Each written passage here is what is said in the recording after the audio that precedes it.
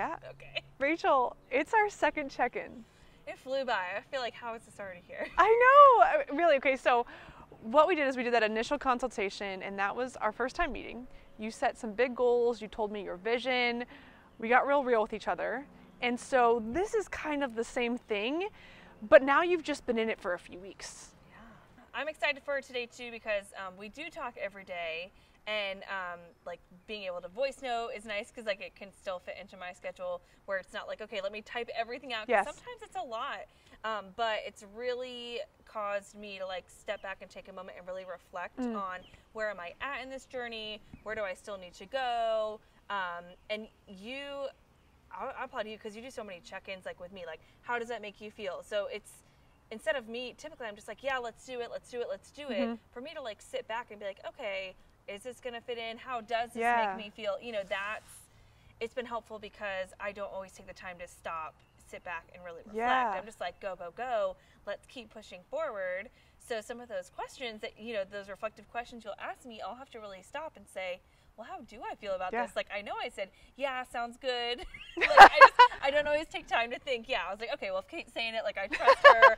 I'm gonna go with it you know but sometimes if it does involve like more prep or you know whatever Yeah. it is it's like well how do i feel? So yeah so i've really hmm. enjoyed moving to the daily check-ins for sure it's helped me a lot Amazing. Yeah, because when you and I first met, I remember you telling me you're like, I am somebody who does really well with structure, and you're somebody who wants to follow a, a guide.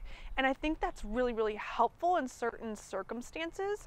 But mm-hmm. with the daily check ins, you have that accountability and structure. It's always top of mind, but we have to take it another level because any old monkey can find something online that says, all right, eat this, not that, do this, not that. But so often, especially with nutrition and diet, we just blindly look to somebody else to give us the answers.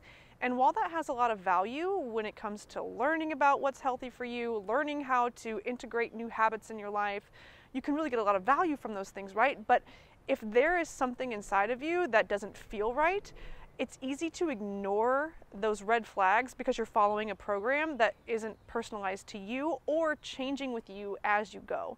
So, my purpose with those check ins, and something that I want you to do even after we finish the check ins, is make time to reflect. How does this food make me feel? Am I actually full and satisfied? Am I feeling confident with what I'm doing right now? Am I on a right path? Or is there something inside of me that's saying, like, ugh, like, this really doesn't feel in alignment for me. This is really, really hard and it's making me want to quit. And when you look inward, you get more answers and then you get more awareness. And once you're aware of something, aware of a problem or a solution, then it becomes a choice on whether you want to solve the problem or if you want to change courses or if you want to continue with that solution over time. Throughout all these check ins and me asking you these questions, what things have come up for you that were really positive? What things have you found out about your own eating habits, your own journey that have had a positive impact and maybe transformed you a bit? Yeah, so I think that when we shifted to the daily check-ins that included me logging my meals and you taking a look at those, Yeah. that really helped me develop next steps. Mm. So, um, and I know snacks have been a big focus, but like that, you know, just making that shift from snacking on something that is nutritious to how can I make like a well-balanced snack. So it's almost like leveling up in Yeah. that aspect like of your snacks. So that's really helped me a lot because it also now I'm prepping and I'm valuing my Mm, snacks, mhm. right? Um, and then recently I woke up hungry and I texted you. I was like, oh my gosh, like what's going on? Like I woke up hungry and I thought it was like something bad, like something wrong. I'm like, does this mean I'm not eating enough? Like what does this mean? And you're like, no, this is perfect. That means you're waking up your metabolism. So there are just things that I didn't necessarily know. Yeah. And had you not been there, like I would have thought, oh no, like do I need to eat more? Like I would have thought Yeah. that that meant something was wrong when in fact it didn't. But since I am checking in with you every day, you know, if, you know, prior if I were to have waken up hungry, like or woken up hungry, I would have just eaten and you know like whatever kept it moving but i was so aware of it because it was something new for me Mhm. and because i have been reflecting like i think it just really puts a focus on nutrition Yeah. and on reflecting on my nutrition so Would you say that doing a lot of self reflecting has helped you overcome maybe some of those old excuses that used to come up in the past? Yes, Yeah. for sure. And uh, speaking of excuses, one that just happened this week. It was it must have been what Thursday.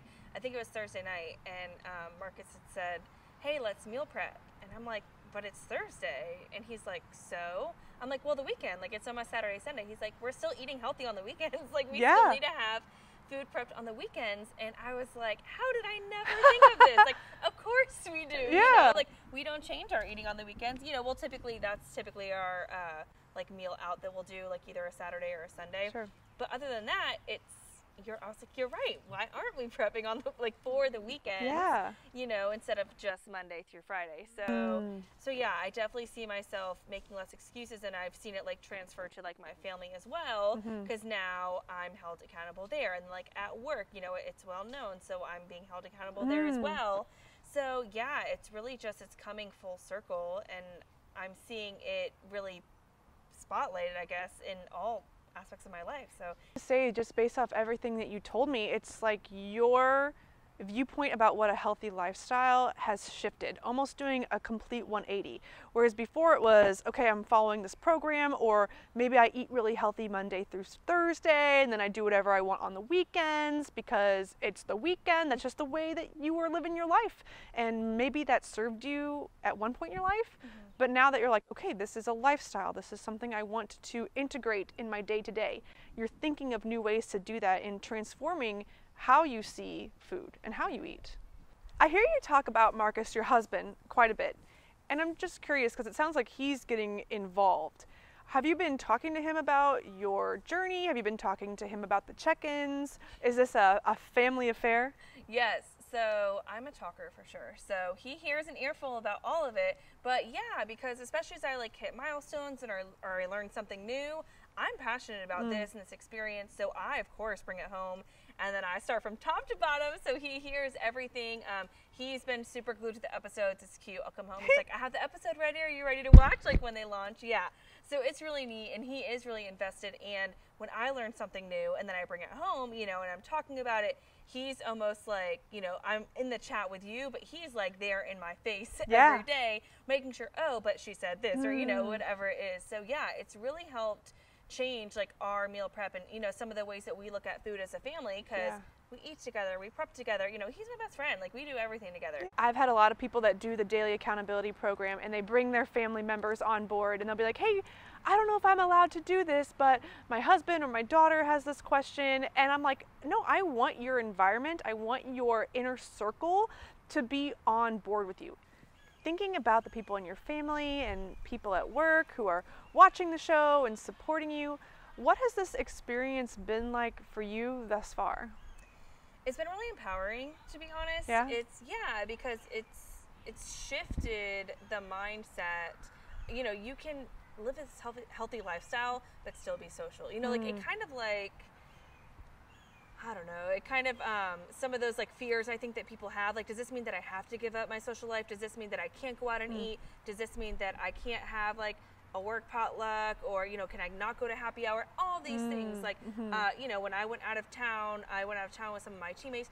I was still able to go. I was still able to have a good Yeah. time. We talked about it. We made a plan. I made sure I filled up on a nutritious breakfast, but then I was able to then follow up. Um, you know, I was able to enjoy myself Yeah. with my team for lunch and then get back on track following. So it's you know it's it's that accountability and showing that this is possible. It's not restricted. It's not like you can never eat out. You know, it's Right. not like your life has to drastically change. You're just almost shifting your mindset in it too. So yeah, so it, it's nice because I feel like everyone knows as well. So the temptation is also a little less too. the fact that you can still go out to eat and have a social life that's balance you have to be able to enjoy your life and you can live a healthy lifestyle that's dialed in and focused and still make room for social events and still make room for food that you just want to eat because it tastes good.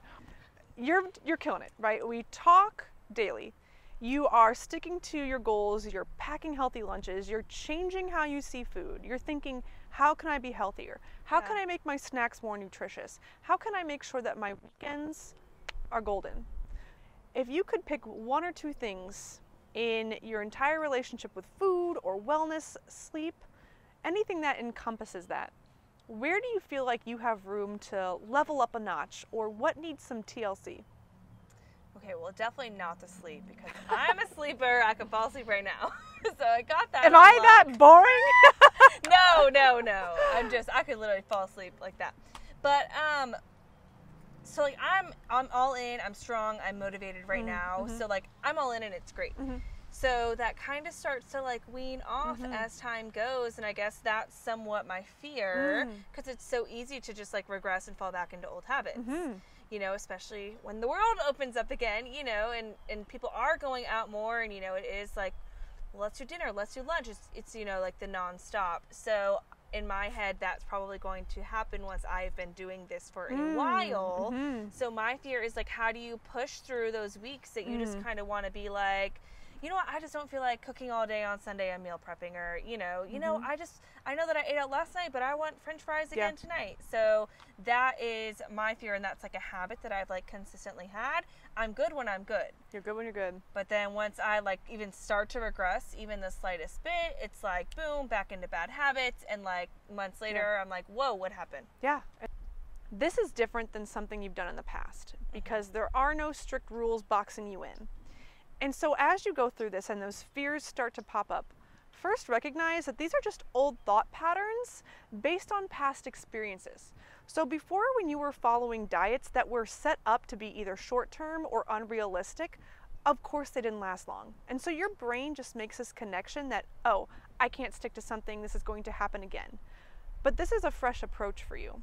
And so hmm. my question is, if you could fast forward six months from now, the way you're eating and living your life now, do you feel like this is a good fit? Yeah, yes, because it's realistic. It's realistic? Yes, and it's something that I, you know, I can kind of weave in different things. So yes, I, I could definitely see that. And in those moments of demotivation, where you're like, oh, I don't want to do what I have to do, think about balance, first of all, and self audit yourself. Say, okay, have I been motivated six days this week? Have I been just killing it? Do I just need a break so that I come back refreshed tomorrow? If so, give yourself grace. So it's like those. It's almost like you know when you start slipping, it's like you almost have to like stop and like put down and remember this is why. Yes. Yeah. This this is why I started this in the first place. Yes. This is why it's important to me. You know whether it's like a journal, like There is something about putting pen to paper. Yeah. And I tell my people that do the daily accountability program, the check ins, that they can use me as that person. But sometimes people just want to get more personal and vulnerable, and it's easier to do that when you're writing pen to paper because you have to actually think through your thoughts. It mm-hmm. takes time to write things down. You can't just think things really quickly and move on with your life. It forces you to slow down. So, writing about your intention and saying, you know what? This is why I'm doing this. This is how my life's going to change. This is how my daughter is going to be impacted. These are all the things that I'm creating and doing for myself. And that act and that practice itself can be so energizing and invigorating and just make you ready to get in it, even if it's just doing something that only takes 1%. Even if it's just like, you know what, I'm going to pack some healthy snacks. If it's, okay, I'm just going to take a walk instead of doing a hard workout sitting down and really getting in touch with yourself and saying like why am i doing this in the first place and getting excited about it could be exactly the practice that you need whenever you find that you're slipping into moments of ugh. So our session's coming to an end. Let's talk about the next steps because we have a few fun things planned in between our final check-in. We're going out to eat together. We're gonna go do a kitchen audit. It's gonna be great. But let's talk about the things to do between now and then. And it sounds like doing some more inner reflection is going to be really beneficial for you to help reframe your mind and make sure that you stay accountable. Is this something that you want to do pen to paper, or do you want to do this with me with our daily check ins, where you're doing some inner reflection and thinking about why every single day, why you're doing what you're doing? So I would prefer a combination of both. Cool. Because if if I'm no if I know I'm not following up with you, it can be something that I could easily see that I'm just pushing to the side. Yeah. I don't have time for this today, kind of thing. so, but you know, of course, you're more vulnerable with yourself sometimes. Mm-hmm. So I would like to add in both, but maybe like a every couple day check in, Yeah. like how is it going? Has anything changed? You know. So I would prefer to continue our daily Oh, yeah. check-ins as is. Okay, because they've been really helpful and We'll they've do really that, helped me yeah. a lot. But maybe just adding in that piece every couple Mm. days. That way, it's not daily. I Um, like that. So I'll have more to say too. Yeah. Here's a thought. How about you doing the journaling daily on your on your own and me reminding you, holding you accountable to that, asking questions.